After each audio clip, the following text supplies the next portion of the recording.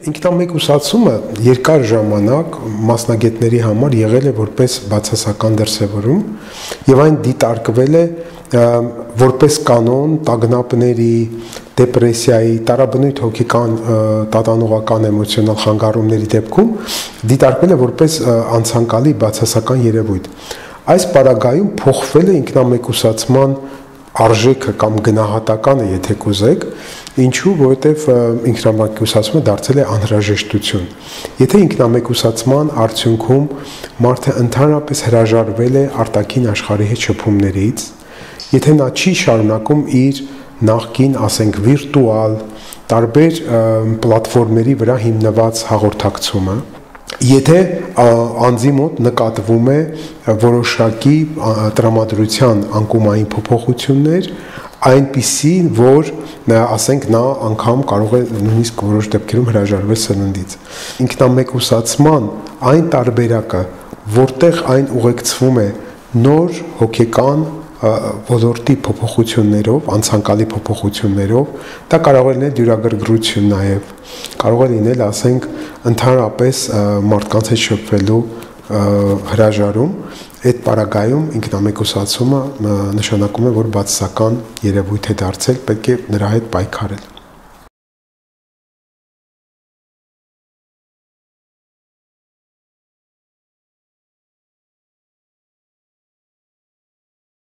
Առաջին հերթին թիրախային են համարվում պատանեկան տարիքի ներկայացուցիչները, որտեղ պատանիները գտնվում են այնպիսի տարիքում,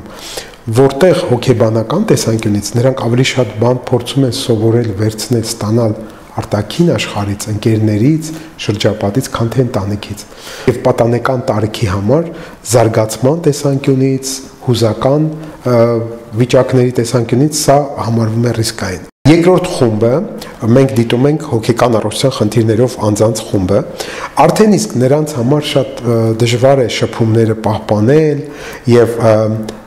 որպես կանոն նրանց հարմարման մեխանիզմները բավականին աղքատ են։ Ուրեմն այն ընտանիքները, ովքեր ունեն հոգեկան առողջության խնդիրներով մարդիկ, մեկուսացման ժամանակ պետք է նախապատրաստված լինեն, զգուշ լինեն, հոգեկան առողջության մասնագետի հետ անպայման խորհրդակցեն, որ տվյալ պացիենտի պարագայում որ տարբերակն է ավելի նախընտրելի։ Երրորդ խոցելի խումբը մենք դիտում ենք հղիներին,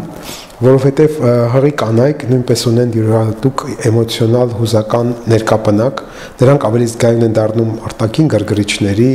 յուրաքանչյուր ամեն մի փոքրիկ նույնիսկ անցուդարձի նկատմամբ եւ խորհուրդ կտամ այն ընտանիքներում, որտեղ կան հղիներ, շատ նրբությամբ, զգուշությամբ, էմպաթիայով վերաբերվեք նրանց, որովհետև մեկուսացումը նրանց կարող է լրացուցիչ բացասական դիցքեր եւ տրամադրություններ հաղորդել։ Չորրորդ խումբը դիտվում է տարեցների խումբը, այստեղ մենք փաստորեն կյանքի վերջին շրջանում այնքան էլ հեշտ չի մնալ ինքները ձեր հետ, մնալ մենակ, որովհետև այդ մենակությունը նրա մոտ կարող է գեներացնել տարաբնույթ հոգեբանական խնդիրներ, մահվան նկատմամբ վախ, տագնապներ եւ այլն։ Ուրեմն մեր օկտատերերին խորհուրդ եմ տալիս, եթե կան տարեցներ, ովքեր մենակ են մնացել, մեկուսացվել են, նրանց հետ փորձեք անպայման որոշակի գրաֆիկով, որոշակի ժամանակային օրակարգով կապը պահպանել, ամեն անգամ, երբ որ նրանց հետ շփվում եք, ասեք, որ հաջորդ անգամ մենք նորից կխոսենք 2 ժամ հետո, որpեսզի իր համար շարունակականության այդ զգացումը, կյանքի շարունակակություն զգացումը երեկոյան բարի գիշեր մաղթելուց հետո ասեք, որ առավոտյան այսին ժամին մենք միմյանց հետ կխոսենք, կշփվենք, սա շատ կարևոր է, փոքրիկ նյուանսներ է, բայց շատ կարևոր է։ Եվ իհարկե խոցելի են համարում հաշմանդամություն ունեցող անձիկ, որովհետև գիտեք հաշմանդամությունը տարաբնույթ տեսակներ ունի, եթե խոսքը գնում է ֆիզիկական հաշմանդամության մասին, արդեն իսկ նրանք գանված են սայլակներին, շփման սահմանափակումներ ունեն եւ հիմա էլ առաջանում է այդ սահմանափակ շփումների մեջ ավելի սա մեծ սահմանափակում, սա կարող է խնդրահարույց լինել, իսկ եթե խոսքը գնում է ոչ թե ֆիզիկական, այլ հոգեկան առողջության բնույթի, ասենք հաշմանդամության դեպքերի հետ, նրանց պետք է հնարավորինս པարս հստակ բացատրել, թե ինչու այդ խնդիրները արգելված են, ինչու չի կարելի շփվել, ասենք, ուրիշ մարդկանց հետ։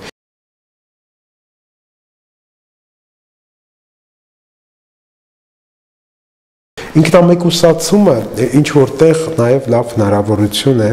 որ դուք ինքներդ ձեր համար որոշակի վերանայեք ձեր նախկին ցանկությունները, ձեր հոբիները, ինչով էիք ցանկանում զբաղվել, բայց ժամանակի սղության պատճառով չի ստացվել անել այդ։ Ամեն օր յուրաքանչյուր առավոտ մտածեք, ինչ եք անելու ամբողջ օրվա ընթացքում։ Մի թողեք օրը ինքնահոսի եւ փորձեք այդ անելիքների մեջ անպայման պլանավորել զբոսանք, հաճախակի ընդմիջումներ, աշխատանքից, եթե դուք ասենք օրինակ արցանց աշխատում եք, երբեք չ կենտրոնակ միայն կերակուրի վրա խորհուրդ չի տրվում աշխատեք որ պլանավորեք նախապես նաև որոշակի ֆիզիկական մանրամարզություն որովհետև դրանք բոլորը նպաստավոր են որ մի կողմից դուք ակտիվ մնաք եւ մյուս կողմից նաեւ նրանք նպաստում են որպեսզի մեր իմունիտետը ավելի բարձր մակարդակի վրա պահպանվի մտածեք թե ինչպես կարող եք սիրել ձեր ինքնամեկուսացման պահը ինչով կարող եք լցնել յուրաքանչյուր անգամ այդ պահը եւ ամեն օր մտածեք թե ինչ լավ գործ կարող եք անել եթե չեք կարող դա անել ձեր համար մտածեք մեկ ուրիշի համասին ում որ դուք սիրում եք ով ձեր կյանքում կարևոր է փորձեք այս ընթացքում նույնիսկ կարող եք ասենք երախտիկի խոսքեր ասել նրան, շնորհակալության զգացումներ նրան փոխանցել կամ ժամանակ առ ժամանակ նրան նեցուկ լինել, դա արդեն մենք այստեղ օգտվում ենք մի հետաքրքիր հոգեբանական ֆենոմենից, որ օգնելը օգնում է առաջին հերթին օգնողին։ Փորձեք օգնել ուրիշ մարդկանց, որպեսզի դες ձեզ ավելի դրական հույզեր փոխանցեք։